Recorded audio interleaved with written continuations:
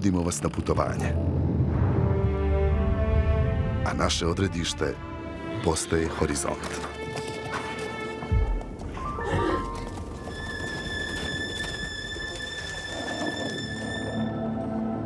Zajedno ćemo posjetiti daleke zemlje i istražiti nepoznato tlo.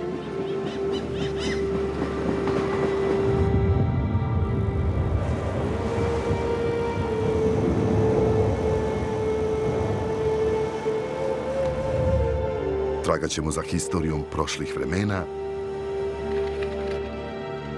kako bismo bolje razumjeli blisku budućnost. Otkrićemo svjetska čuda.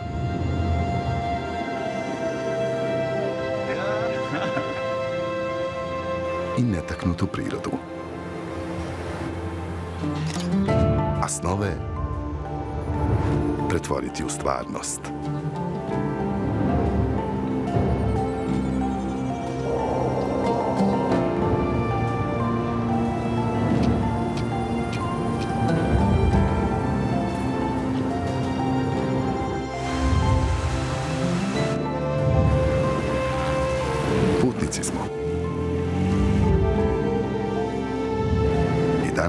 Ukoračamo u novi svijet.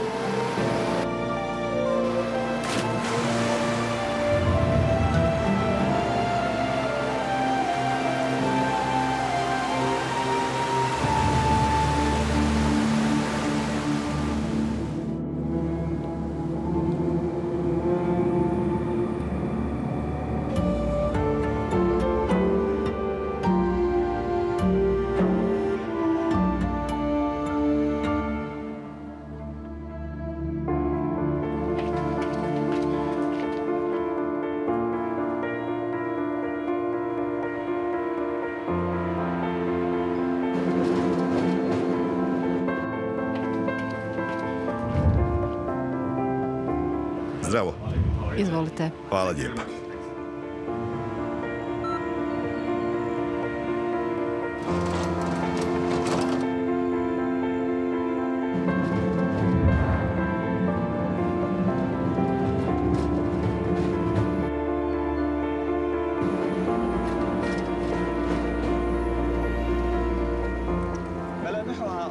Evropske vanjštine i orijentalnog duha koji je prešao iz Osmanskog carstva u Austro-Ugarsku monarhiju u jednom trenu. Dobrodošli u Evropski Jerusalem. Dobrodošli u Sarajevo.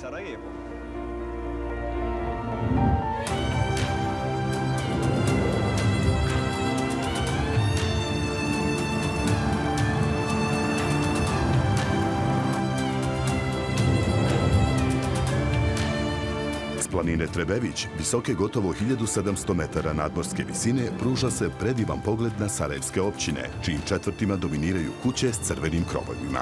Džamijske munare, crkveni tornjevi, mostovi kao i stare građevine iz osmanskog i austro-ugarskog perioda utopile su se u moru zelenila, dokle god dopire pogled. Grad Sarajevo je u svojoj historiji nekoliko puta privukao interesovanje svjetskih medija. Jedan od povoda bio je i krvavi rat za neovisnost iz 90-ih godina prošlog stoljeća. Prije toga je to bio prvi svjetski rat, kada je u ovom gradu zapaljena njegova prva iskra. Također, Sarajevo je novinske stupce punilo i 1984. godine kao grad domaćin zimskih olimpijskih igara.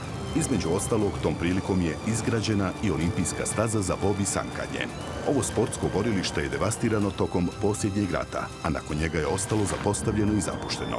Ipak, mladići željni adrenalina danas koriste ovu stazu za ekstremno spuštanje biciklom.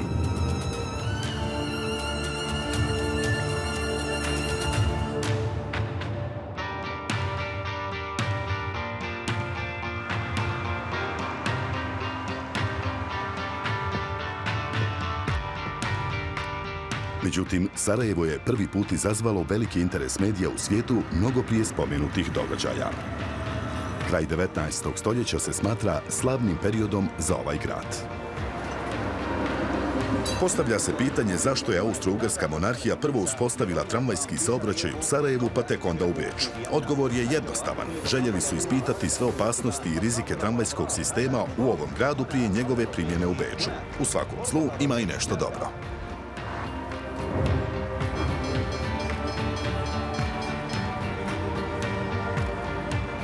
U Sarajevu je u prvih deset godina saobraćao tramvaj s konjskom vučom. Riječ je o jednim kolima koja su vukla dva bijela konja. Godine 1895. Sarajevom je protutnjao prvi tramvaj na električni pogon.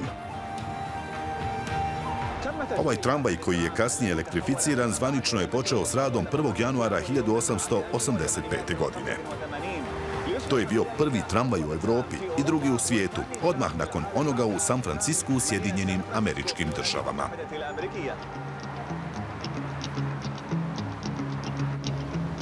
Današnja trasa tramvaja prolazi kroz historijski dio Sarajeva, čiji se izgledi pojedine crte nisu mijenjali duže od 130 godina.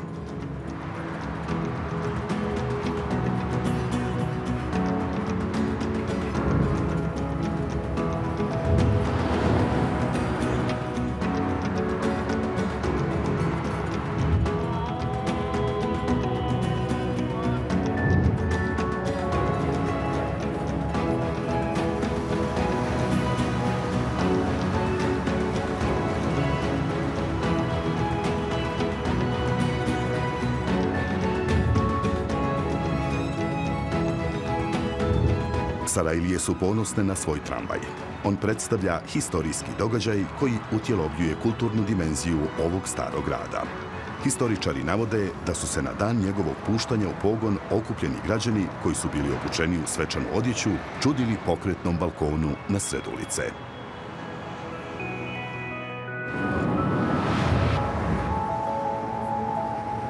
Gradska vječnica je svečano otvorena 20. aprila 1896. i korištena je za upravne i administrativne svrhe. Poslije drugog svjetskog rata stavljena je na raspolaganje Narodnoj biblioteci koja postaje nacionalna i univerzitetska biblioteka Bosne i Hercegovine, što ostaje sve do agresije. Nakon što je pogođena zapaljivim artiljerijskim projektilima, požar uništava vječnicu, zajedno s ogromnim bibliotečkim fondom od gotovo 2 miliona jedinica. Prilikom spašavanja knjiga od vatrene stihije poginulo je i ranjeno nekoliko hrabrih Sarajlija. Vječnica danas predstavlja nacionalni spomenik Bosne i Hercegovine. Koristi se u svečanim prilikama na državnom i gradskom nivou za promociju događaja iz kulture, umjetnosti i privrede, u stalne i povremene muzejske postavke kao i za sjednice gradskog vijeća.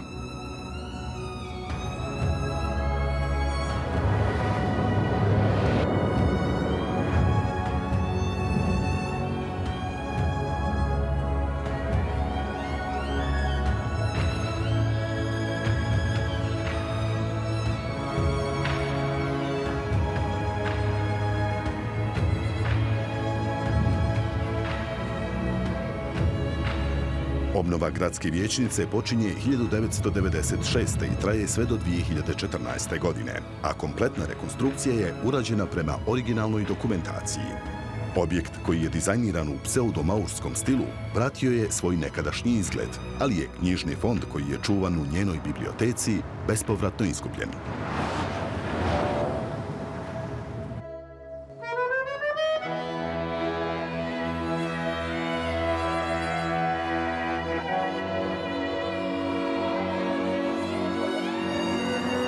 Svrzina kuće je među najpoznatijim sačuvanim primjerima sarajevske stambene arhitekture iz osmanskog perioda.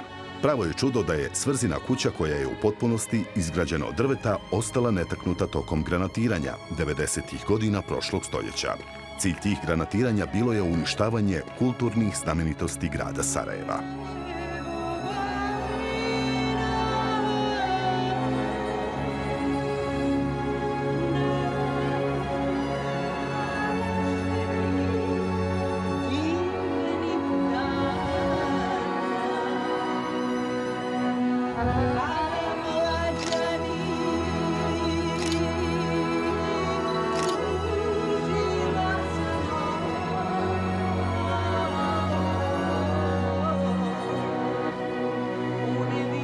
Ako ste bili bosanski musliman u 18. stoljeću, klanjali biste Bajram namaz, zatim došli u kuću poput ove, sjeli na perzijski čilim, razmijenili bajramske čestitke i poklone s prijateljima i rodbinom, a zatim posmatrali italijanska ogledala i drvene predmete ukrašene sedefom.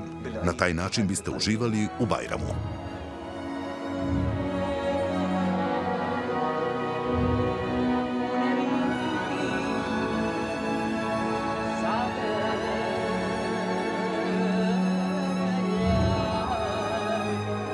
Velika kuća, ukrašena kompleksnim drvorezom na vratima, sanducima i namještaju, pripadala je staroj sarajevskoj porodici Svrzo. Ova porodica je u njoj često ugošavala prijatelje, rodbinu i komšije tokom bajramskih i svadbenih svečanosti, kao i tokom ramazanskih iftara i obilježavanja rođendana poslanika Muhameda.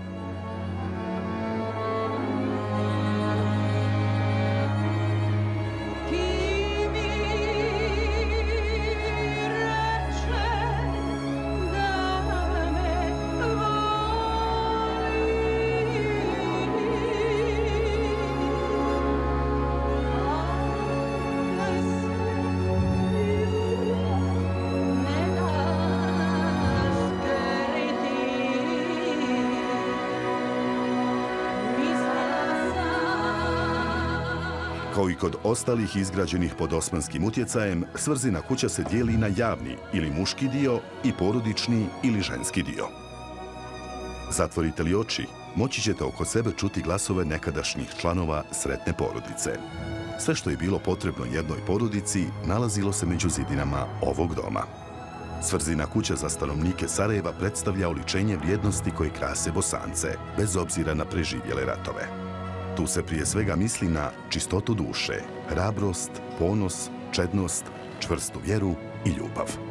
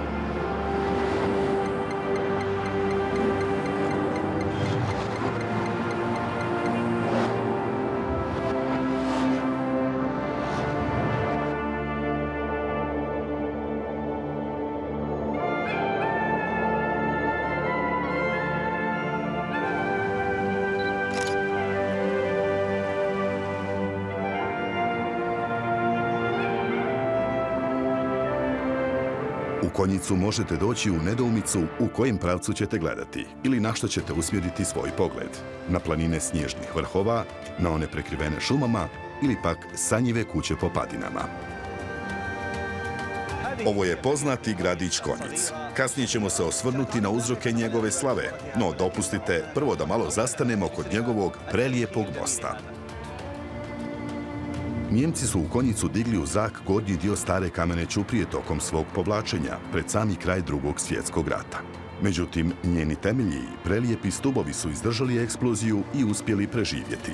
Zbog toga nije bilo teško rekonstruisati ovu Ćupriju, koja je svojom 400 godina dugom historijom ostala jedna od najistaknutijih osmanskih znamenitosti u Bosni i Hercegovini.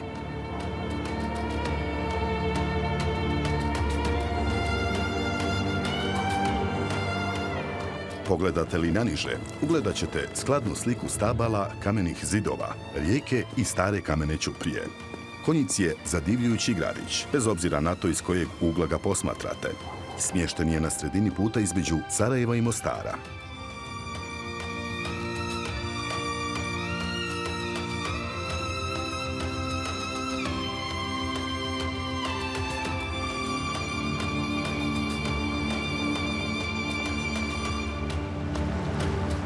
Konjicu vas put pored rijeke vodi ka jednoj od najvećih tajni nekadašnje Jugoslavije. Cijela priča je slučajno otkrivena tokom rata 90-ih godina prošlog stoljeća. Ova zgrada koja na prvi pogled izgleda kao sasvim obična građevina ima izuzetno zanimljivu priču. Tu je još jedan objekt skriven iza nje. Dobrodošli na ovo posebno mjesto. Jugoslovenska vojska je uspjela sačuvati tajnu Titovog atomskog skloništa. Radnici na ovom objektu, koji nisu znali šta tačno grade, morali su potpisati ugovor o tajnosti, kojim su se obavezali da neće otkrivati bilo kakve informacije u vezi s ovim skloništem, čak ni najužim članovima porodica. Ovo je bunker Josipa Broza Tita u Konjicu koji je građen punih 26 godina. Njegova izgradnja je završena 1979. godine. Koštao je 4 milijarde dolara. Ovaj kompleksni objekt mogao je izdržati direktan udar nuklearnog projektila. Bunker je trebao osigurati nesmetan život do 400 ljudi tokom šest mjeseci.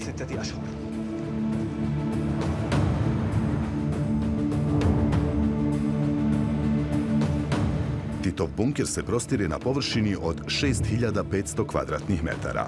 U unutrašnjosti se nalaze stara vojna oprema, zastarili telefoni i namještaj koji posjetioce vraćaju u komunističku eru.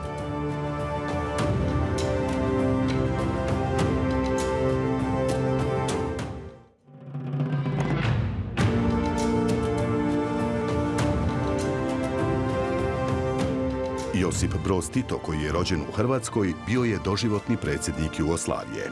Na vlasti se zadržao 35 godina. Uživao je veliku popularnost u narodu, zahvaljujući prije svega uspješnoj ekonomskoj i diplomatskoj politici, kao i sposobnosti da ujedini zemlju, koja se raspala desetak godina nakon njegove smrti.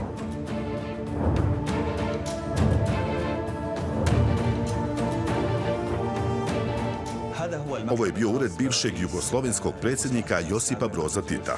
Paradoks je u tome što je ovaj gigantski bunker građen četvrt stoljeća, a Tito je umro nekoliko sedmica nakon njegove izgradnje. Tito ga nikada nije posjetio. Kompleks sadrži bolnicu, nekoliko desetaka spavaonica, ureda, sala za sastanke, komandu i prijemne prostorije. Najveće iznenađenje predstavlja činjenica da ventilacijski, električni kao i sistemi za vezu koji su stari 50 godina još uvijek odlično funkcionišu.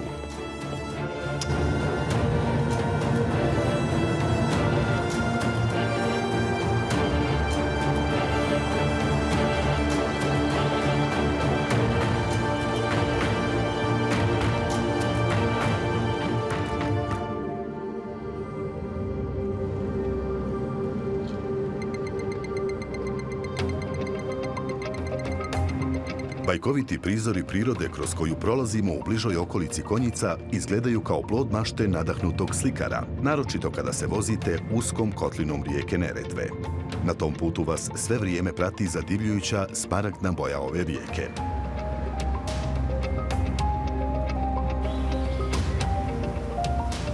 Neretva je najveća rijeka Jadranskog sliva i jedina koja sječe svoj put kroz primorski i središnji dinarski pojas formirala je zajedničku kulturnu baštinu u svim selima i gradovima kroz koje protječe u Bosni i Hercegovini i Hrvatskoj, sve do ušća u Jadransko more.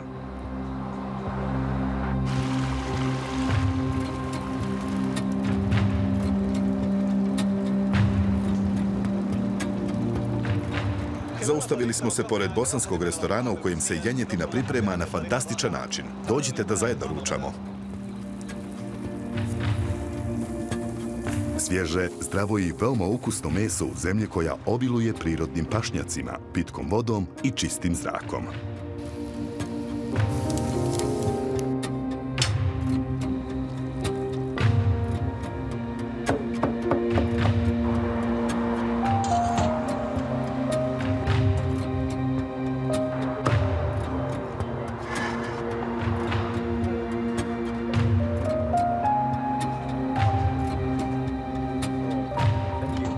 Bosanci vole meso i konzumiraju ga u svakom obroku, čak i za doručak.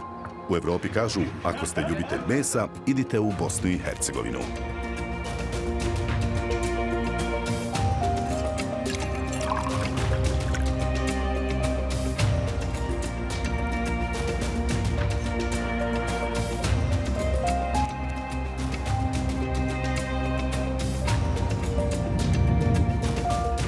Od Argentine do Bosne za pripremu dobrog mesa dovoljna je samo soj vatra.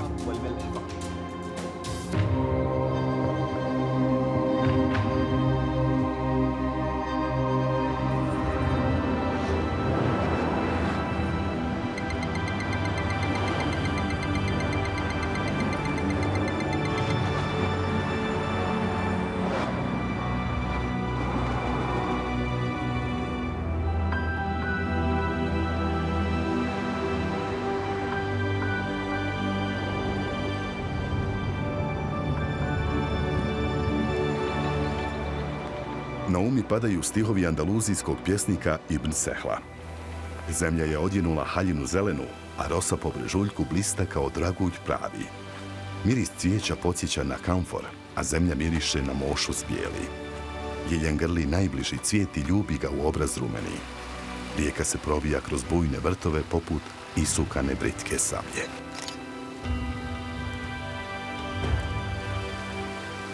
Svaki put kada ugledamo neki nevjerovatni pejzaž, pomislimo da je to najljepše u Bosni. Međutim, ova zemlja nas ne prestaje iznenađivati svojim skrivenim prirodnim čarolijama.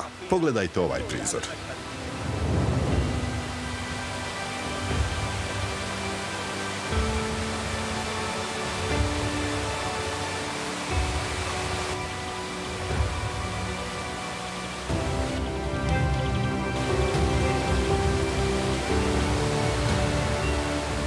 Oaza skrivena među brdima okružena je zelenilom kao i stabli vatopole, vrbe i smokve.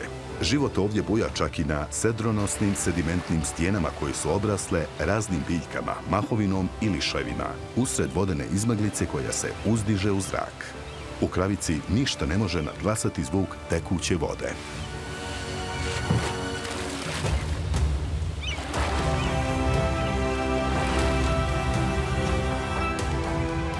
Ovdje protječe razigrana rijeka Trebižat, koja na svom putu nerijetko ponire da bi se ponovno pojavila u nekom drugom kraškom ambijentu, zbog čega ima nekoliko različitih imena.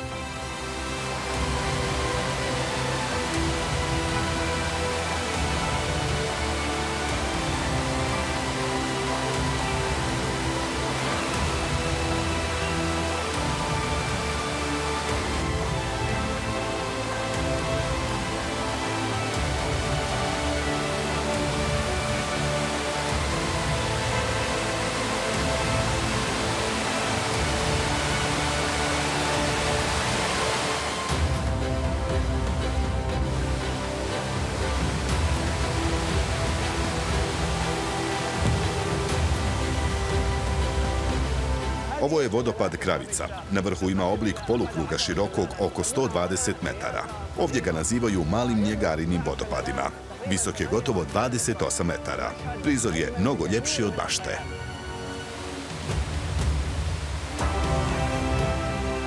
Gubeći uporište, voda konstantno pada s 30 metara, udarajući o stijene, te tako stvara amfiteatar s prirodnim bazenom u samom podnožju. Ovo malo jezero je privremena stanica prije nego što rijeka nastavi svoj tok prema jugu. Jedan dio rijeke ponovno ponire, a drugi se ulijeva u Neretvu i na svom ušću završava putovanje dugo 50 kilometara.